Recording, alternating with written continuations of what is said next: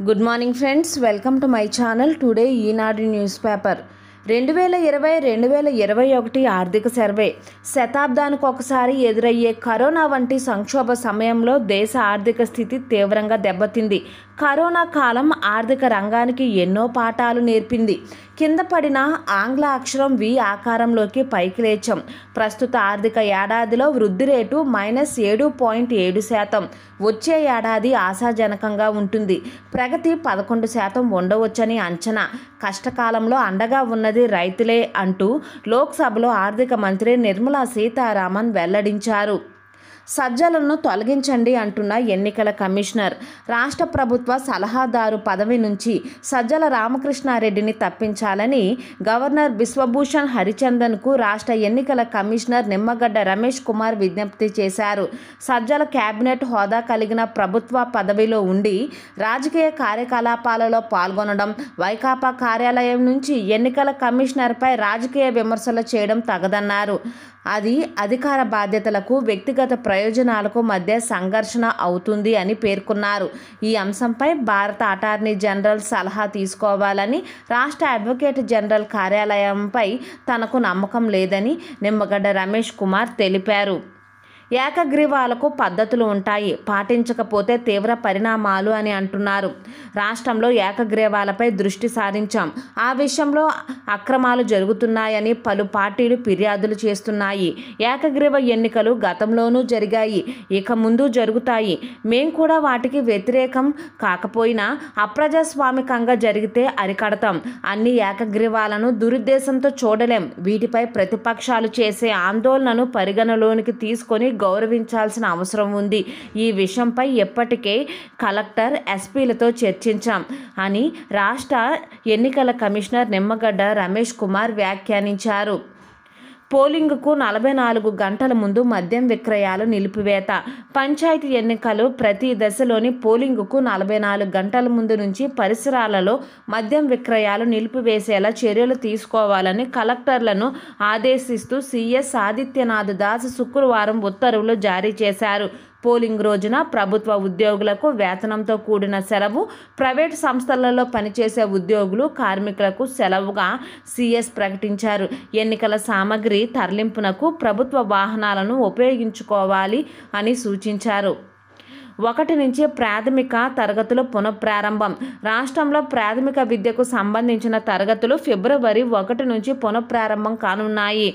ఒకటి నుంచి ఐదవ తరగతి విద్యార్థులకు రోజు ఉదయం తొమ్మిది నుంచి సాయంత్రం మూడు గంటల నలభై ఐదు నిమిషాల వరకు తరగతులు జరుగుతాయి. గదిలో ఇరవై మంది విద్యార్థులు మాత్రమే ఉండాలని పాఠశాల విద్యాశాఖ స్పష్టం చేసింది. విద్యార్థుల సంఖ్యకు తగ్గట్టు గదులు లేకుంటే రోజు రోజు మార్చి రోజు తరగతులు నిర్వహించాలని సూచించారు సూచించింది. కోవిడ్ నైన్టీన్ ప్రమాణాలు అనుసరించి తరగతులు జరపాలి అని వెల్లడించారు.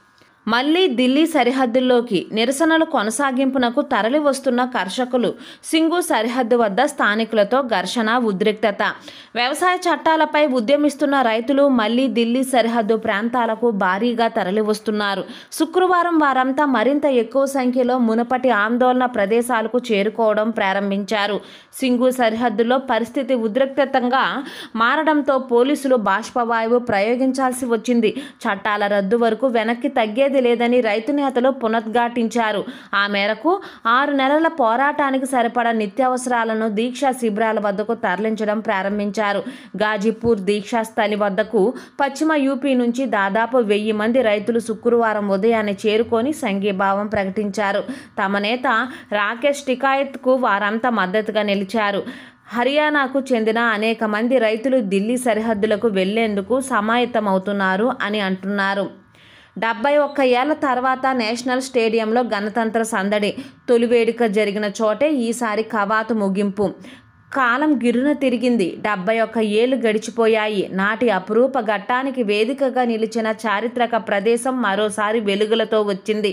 పంతొమ్మిది వందల యాభై జనవరి ఇరవై ఆరున భారత తొలి గణతంత్ర దినోత్సవం కవాతుకు ఆతిథ్యం ఇచ్చిన స్టేడియం మరోసారి వేడుకలలో మెరిసింది. మొదటి వేడుక జరిగిన ప్రాంగణం వద్ద ఈసారి కవాతు ముగిసింది. దేశ రాజధానిలో బాంబు పేలుడు ఇజ్రాయిల్ ఎంబసీ బయట ఘటన జరిగింది. సర్వత్రా అప్రమత్తత.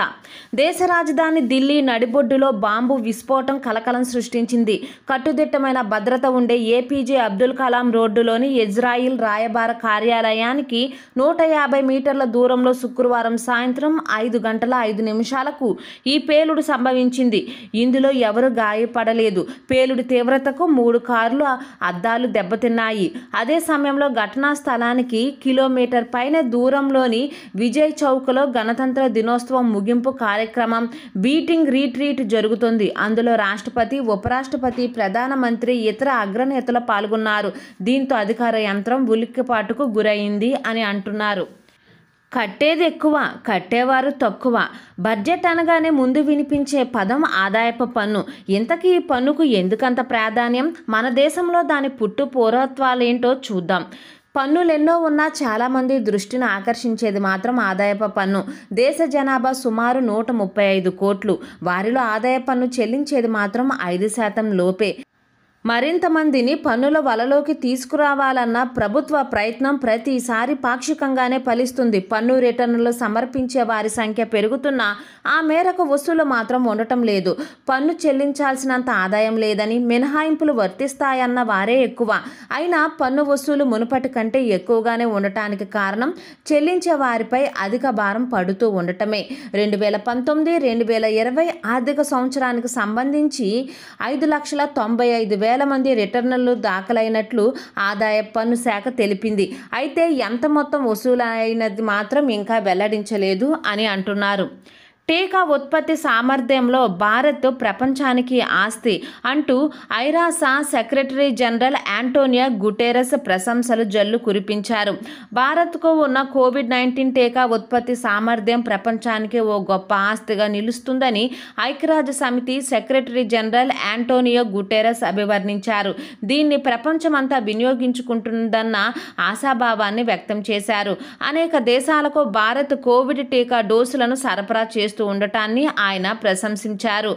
అన్ని దేశాలు కోవిడ్తో పోరాడుతున్న నేపథ్యంలో అంతర్జాతీయ వ్యాక్సినేషన్ ప్రక్రియలో కీలక పాత్ర పోషించేందుకు అవసరమైన సాధన సంపత్తి భారత్కు ఉందన్న వి- విశ్వాసాన్ని ఆయన వ్యక్తం చేశారు. అత్యంత అధునాతన ఔషధ పరిశ్రమలు ఉన్న దేశాలలో ఒకటైన భారత్ కరోనా మహమ్మారిని అంతమొందించేందుకు అంతర్జాతీయంగా ప్రారంభమైన వ్యాక్సినేషన్ ప్రక్రియలో కీలక పాత్ర పోషించాల్సిన అవసరం ఉంది అని అన్నారు.